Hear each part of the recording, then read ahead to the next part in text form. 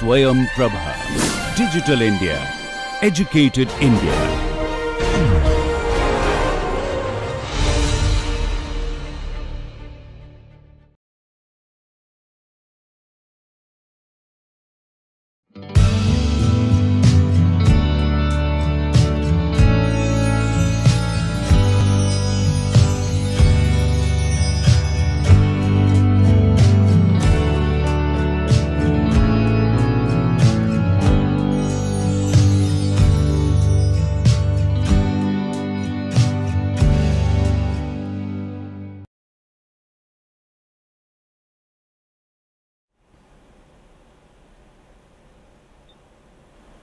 Welcome to the fourth unit of the course Phonetics and Phonology A Broad Overview. This uh, unit is on speech perception and um, in this unit we'll cover how we hear, how we make sense of the sounds that we hear. So, uh, as we have seen in the three units before this, speech is for fast and efficient communication and speech is composed of units called phonemes. So ba, pa are two phonemes in I suppose any language or bat and pat in English. So the fundamental unit is generally considered to be the phoneme. Native English speakers typically produce 12 phonemes per second and can comprehend up to 50 phonemes per second. So, this is a very fast rate of recognition as well as production. When you talk about speech perception, is it true that even in speech perception, phoneme is considered the basic unit? Yes, it is. Even in speech perception, phoneme is considered to be the basic unit for uh, understanding speech.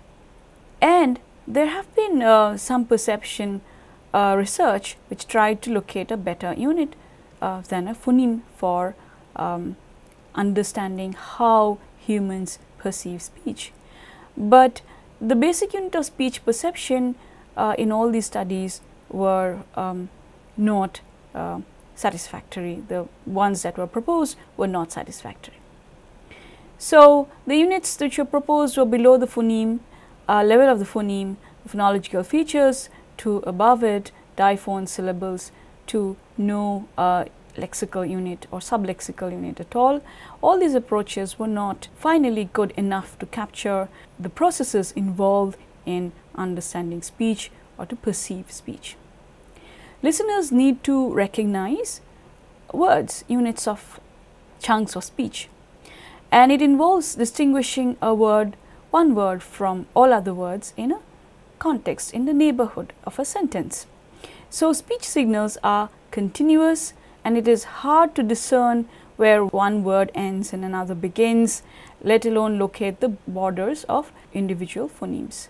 So, it is not only difficult to determine the units of speech, but it is also difficult to locate the boundaries of these units of speech. So, speech perception is indeed a difficult process that is performed by humans all the time while speaking and listening and understanding speech.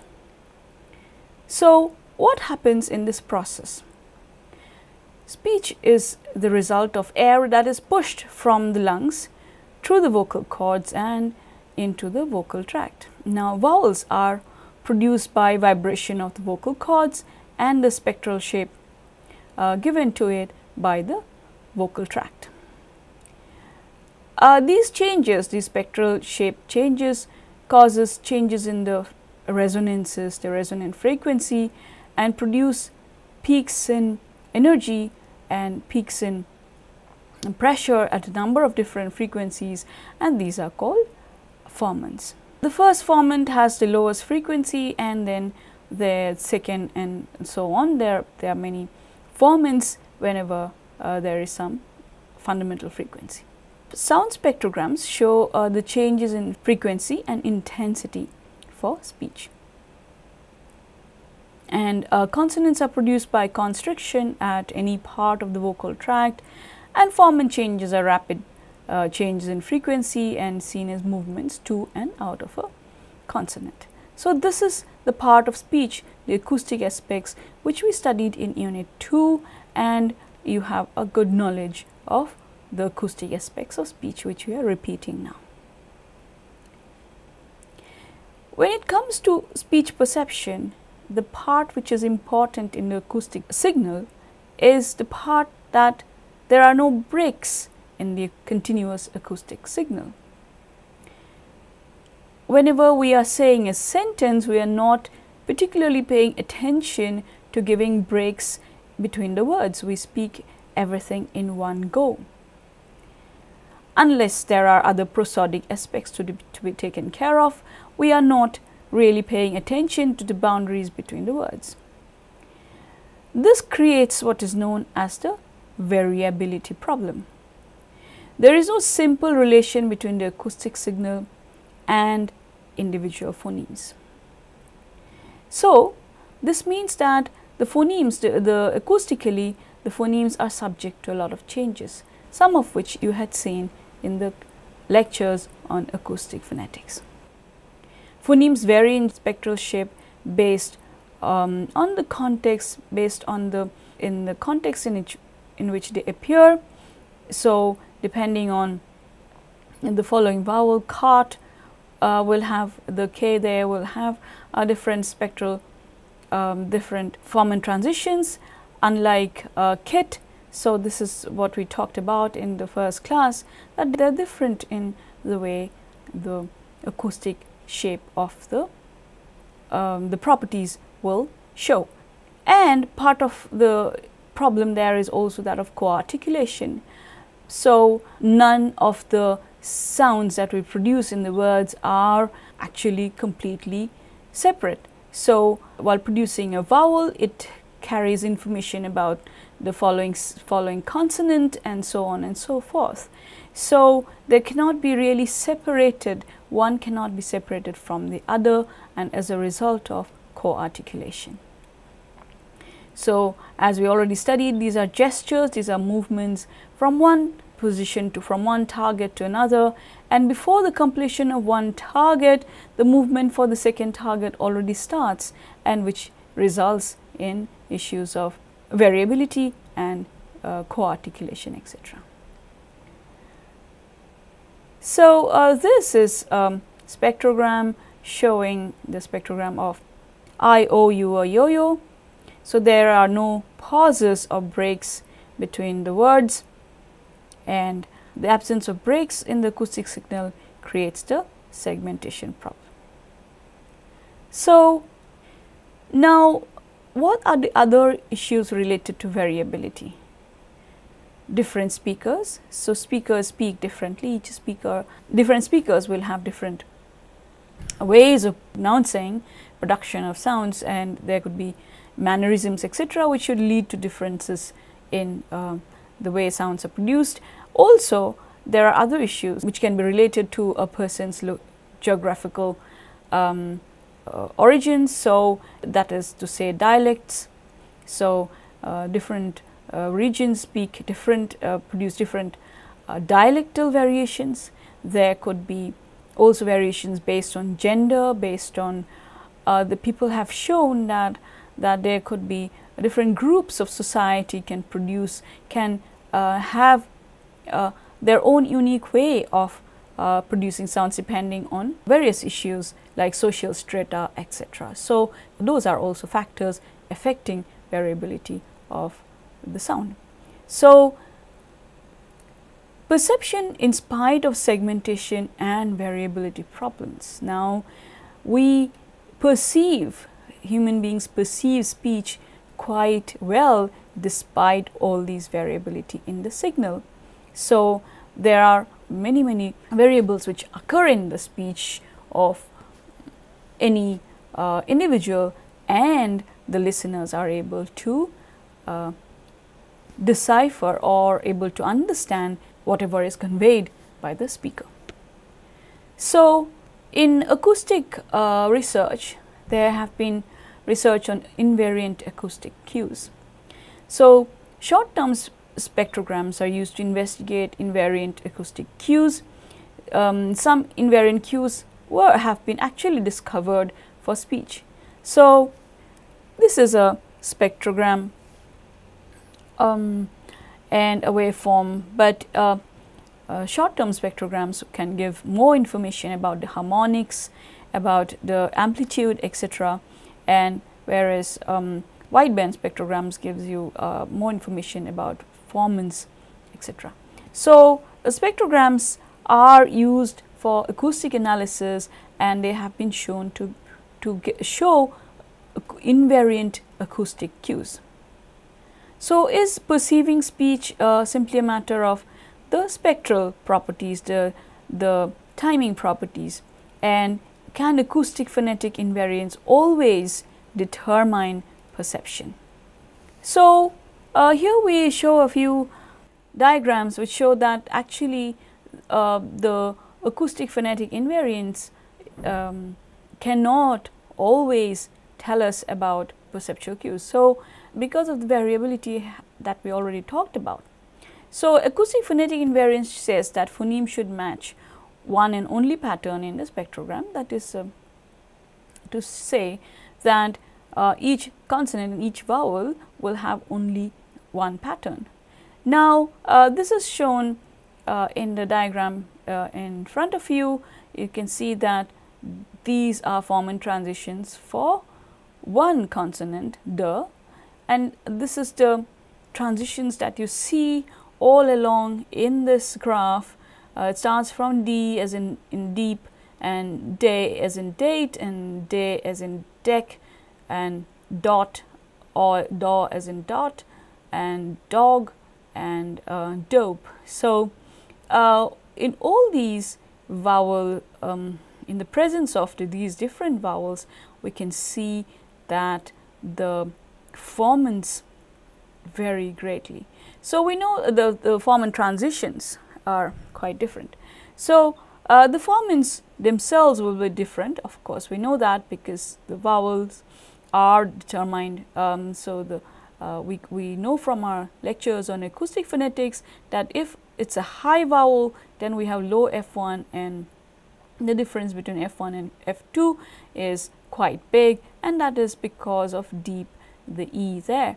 But what is important to note here is that formant transitions are very different are can be um, the movement in and out um, could be quite drastically different and you can see that for the front vowels and the back vowels they are completely different while uh, it is uh, sort of rising. So, you can see a um, like a falling one second F2 for do and um, for for sorry for dot and dog and dope quite different from D uh, as in deep and day as in date and day as in deck. So, is it possible that phonemes will match only one and only um, one pattern in the spectrogram? So, we saw the example of d and that is not true. Uh, so, again here the formant of D can rise or fall depending on the vowel as you can see. And again here um, the, the do they are quite different for both in one uh, these movements are called formant transitions which you already know from our acoustic analysis class lecture and um, formant transitions are the major cues for perceiving uh, consonants and we will have a look at that again. So, we hear different consonant sounds because uh, we are sensitive to various aspects of formant transitions. But even for one sound there are different formant transitions and we are sensitive to minute differences in formant transitions for the same consonant. So, for example, for a given vowel sound, a neighboring consonant sounds could be distinguished by the duration of formant transition and apart from the movement of rising and falling, it is also duration which plays a role. So, we saw that uh, in the acoustic phonetic invariance issue that one phoneme will always have a specific um, acoustic cues associated to it is cannot be uh, true because we saw with the example of the that depending on the vowel the formant transitions are very different. The temporal structure of acoustic energy is critical for speech perception. So, apart from the spectral shape, the temporal structure is also important for speech perception. So, now uh, we come to a big issue in speech perception which is called the segmentation problem.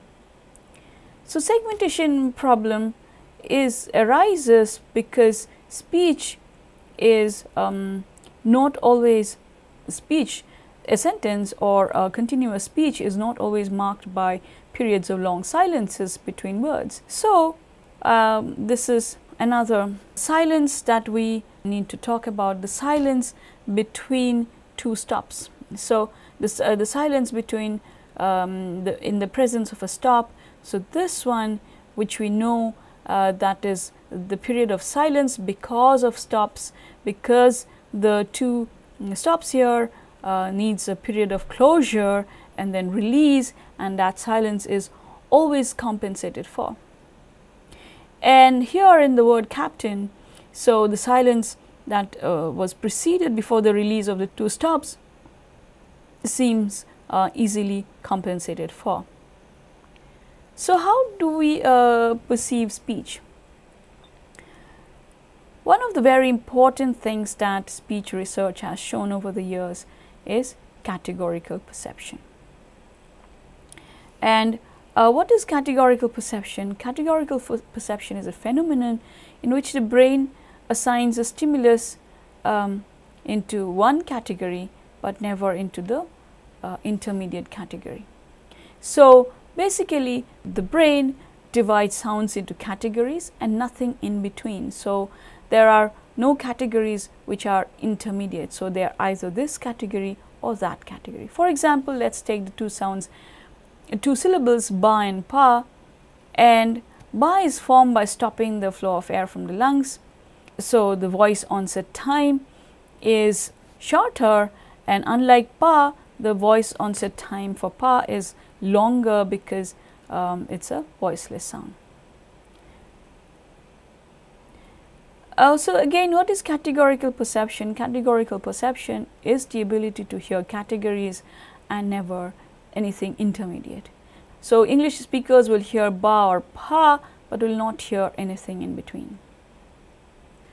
So, let us also talk about cues. We have already mentioned invariant um, cues. So, what are cues? Cues are aspects of the signal that contains minimum recoverable acoustic information. And they are necessary for the speaker to recover a contrast and they are related to developments in distinctive uh, features. So, categorical perception is uh, considered to be part of learning a language. Babies can discriminate ba from pa and can discriminate these phonemes with intermediate voice onset times. So, by 10 to 12 months babies stop discriminating intermediate voice onset times. Now, after learning um, the category boundaries, it is not possible for um, infants to uh, or unlearn them or and as uh, they grow they are more uh, set in their ways such that um, the boundaries are uh, fixed. So, um, this results to in, in what we know as native perception versus non-native perception and once the category boundaries become fixed it becomes very difficult to unlearn those boundaries and learn other sounds and also is supposed to lead to accent in speakers because of the early perception of category boundaries. So, uh, we just talked about voice onset time. So, this is ba ba what we want to show here pa is um, voice onset time.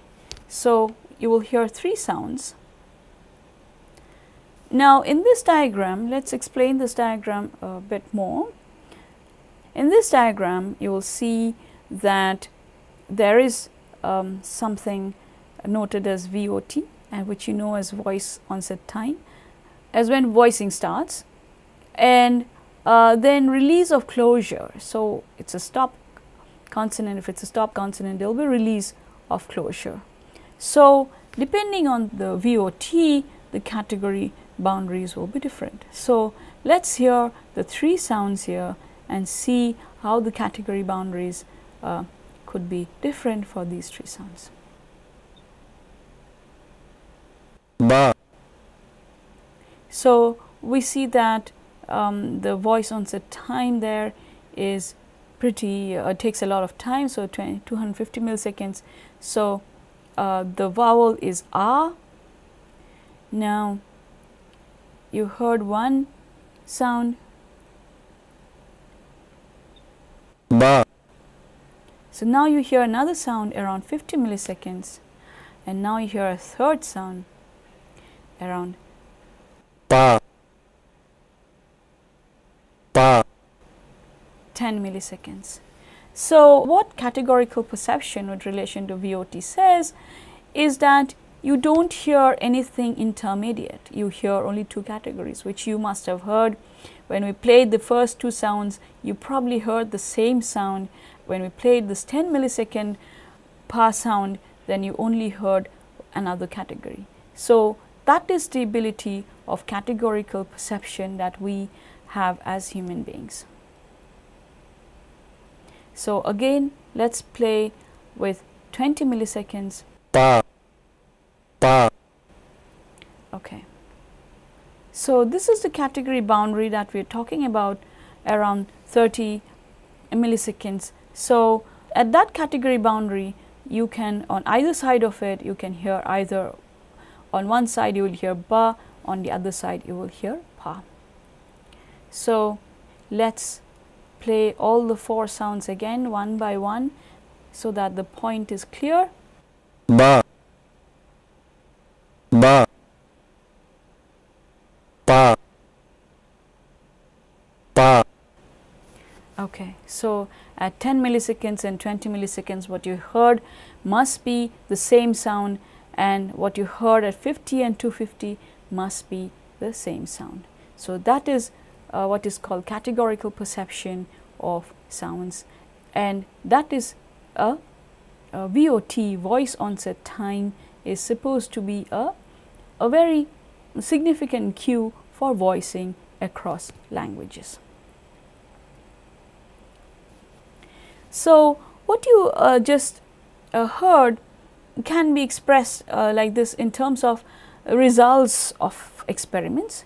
So, these are uh, these are called VOT experiments which involve identification functions and so where uh, participants are um, forced identification experiments where participants are asked whether they heard a ba or a pa.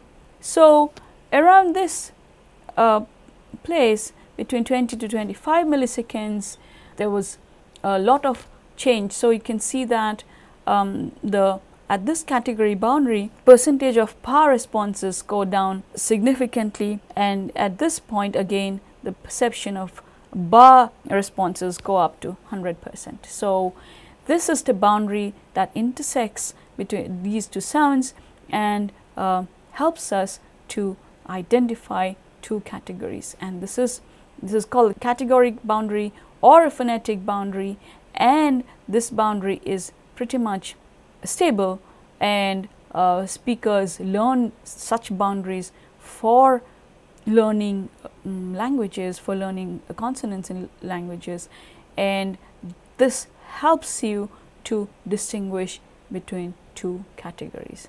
So, here you see that um, what this experiment means is that uh, in the x axis you have all these um, tokens which the speakers heard at 5 second, 10 second, 15 second, 20 second, 25 seconds, 30, 35 and 40 seconds.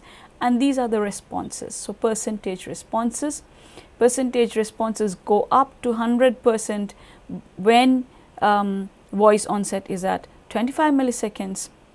Percentage bar responses go up to 100 percent. And percentage uh, pa uh, go up to 100 percent when uh, VOT is around 20 milliseconds. So, between these 5 seconds uh, we have a proper category boundary which will decide whether a sound is this category or that category, but nothing in between.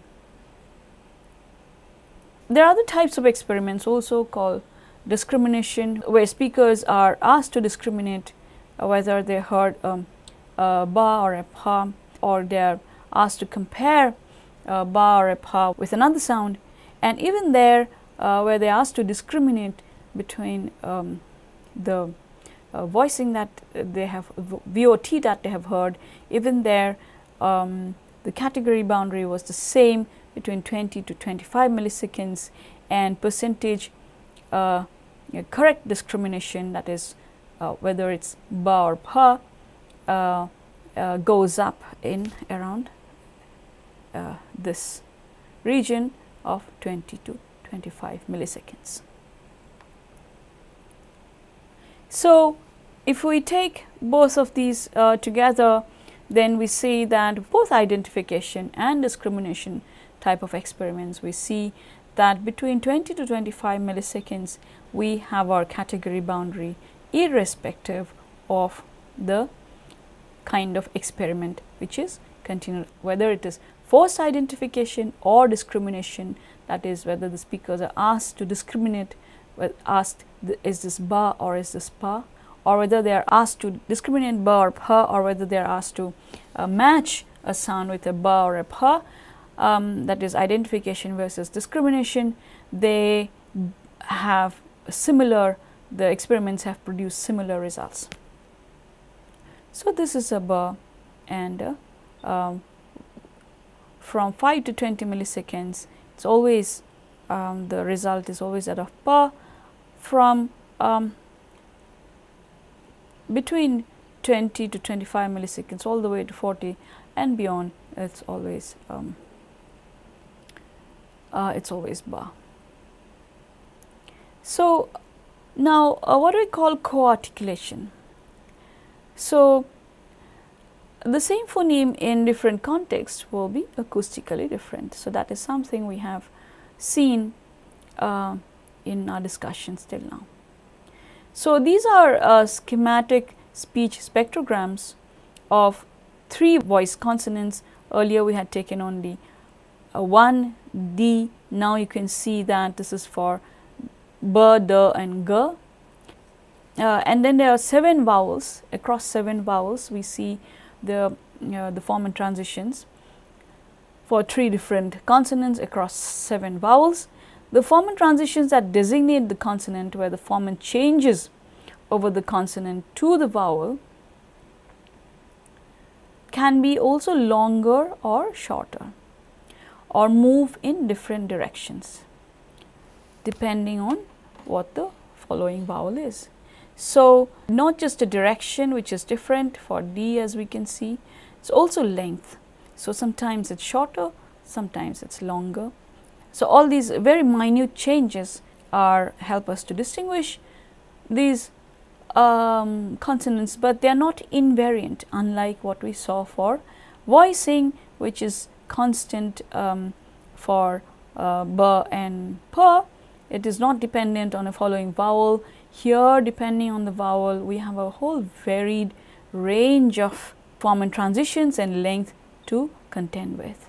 So, just to compare the difference between the um, categorical perception and um, co-articulation which we have been talking that it may not be always invariant. So, we saw an, an example of where speech perception can have a invariant acoustic cue and we can have we can have variant ones like this one. Now, going back to um, categorical perception. So, this is an experiment done by Kuhl and Miller 1978. It has shown that uh, chinchillas uh, who learn to respond when they heard da, but not when they heard ga. So, they produced an identification function that looks just like that of humans. So, it is hard to believe uh, chinchillas uh, which are um, uh, which are like rodents had a is, has a special speech mechanism. Uh, this suggests that our ability to categorize consonants can be shared with other species also. So, let us also look at uh, infants and these are there are similar results um, of experiments looking at the perception of uh, lexical tone by infants who are learning Chinese and infants who are learning English. The infants um, were tested on lexical tone and um, on discrimination of those tones that had the same uh, difference that is they were either rising or falling etc. So, both the groups of children whether they were Chinese or English uh, speak um, learning infants growing in Chinese or uh, English learning environments could discriminate lexical tones as well as the discriminated non-speech tones. So, but they seem to have lost that ability at about 9 months. And um, so, while the Chinese learning infants maintain the ability to discriminate lexical tones, the English um, children seem to have lost it at 9 months.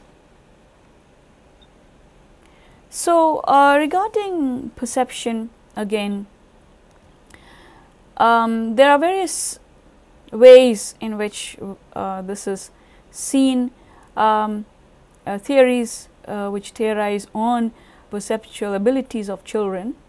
It is said that infants have the ability to distinguish phonetic contrasts of all languages in the world, but they tune out of the ones that, they don't hear um, around them and uh, this is one approach and the other approach also says that infants are able to distinguish a lot of phonetic contrasts, but uh, the boundaries shift depending on experience.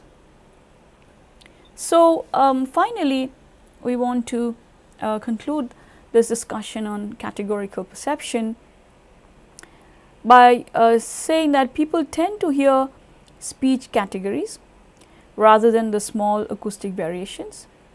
So, that ability human seems to have.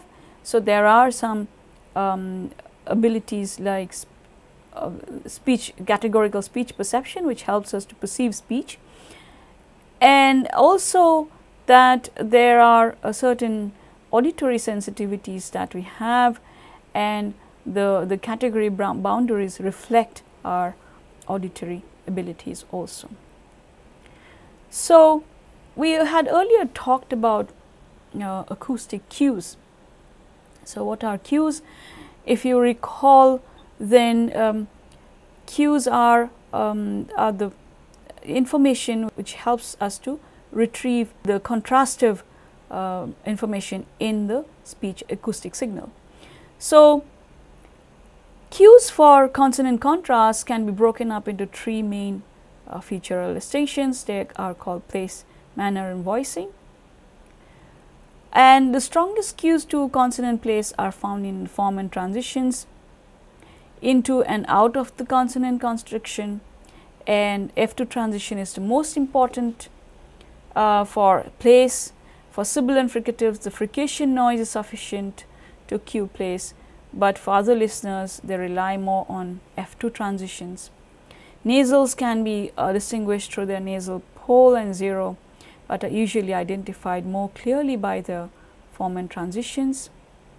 So, um, we had actually discussed uh, these uh, things when we discuss acoustic phonetics. So, so here are the F2 transitions, the F2 transitions for stops which and also for fricatives and for nasals. So, these three are important. However, for stop release burst is the, it's also a cue. For fricatives, the fricative noise is also a cue.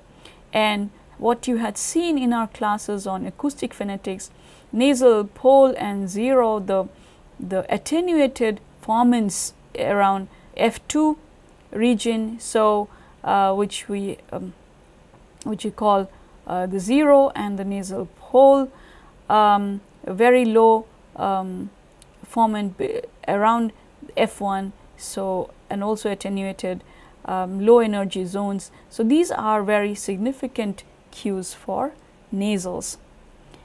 And um, so, so, this for consonant place whether it is fricative or stop or nasal the F2 is gives a lot of information. Apart from that when it comes to manner the attenuation is very important. So, uh, for stops you would hear a stop release burst and the abruptness and degree of uh, attenuation. For fricative noise it is rather uh, slow the, the degree of attenuation is also a bit slow. So, you can hear a lot of noise for fricatives. So, that is another big cue for fricatives and uh, for nasals nasalization of the vowel. And again the nasal pole it is uh, it is a significant cue and um, the other important cues are the slope of the formant transitions again for also manner. Manner cues could also be uh, expressed with the slope of formant transitions. So, we have already seen how uh, voicing is um, effectively uh, cued by VOT, the voice onset time that is important. But apart from that, there are also other cues, uh, not just the sole cue for voicing. We have a vowel duration which can be longer for uh, voice consonants than for voiceless consonants. The stricture duration could be longer for voiced than uh, voiceless consonants. There could be aspiration noise for voiceless consonants than voice consonants. The release burst amplitude could be again um, different for voice and voiceless and periodicity will be present in the consonant to cue the voicing.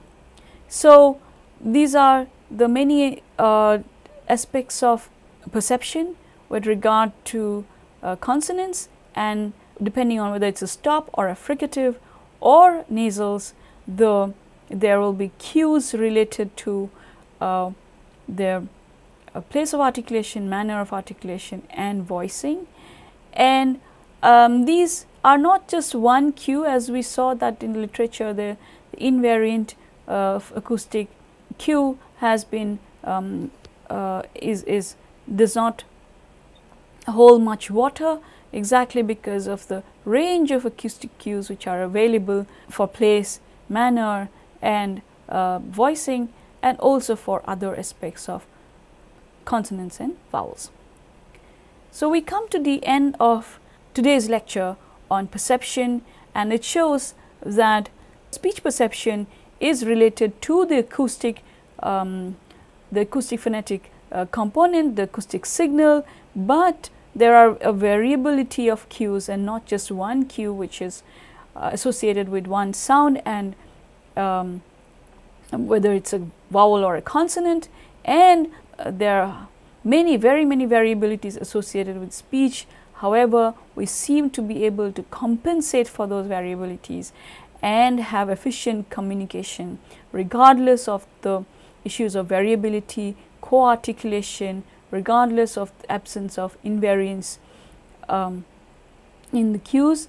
Uh, the perception always seems to efficiently uh, most of the time present in speech communication and the search for cues will be an ongoing process in the literature in, in speech uh, perception research and understanding how speech is perceived by uh, humans and um, how to understand our perceptual abilities, our auditory sensitivities which help that perceptual ability, all the all more and more knowledge in this area is going to be beneficial to understand speech in greater detail. Thank you for listening and this is the first lecture on speech perception.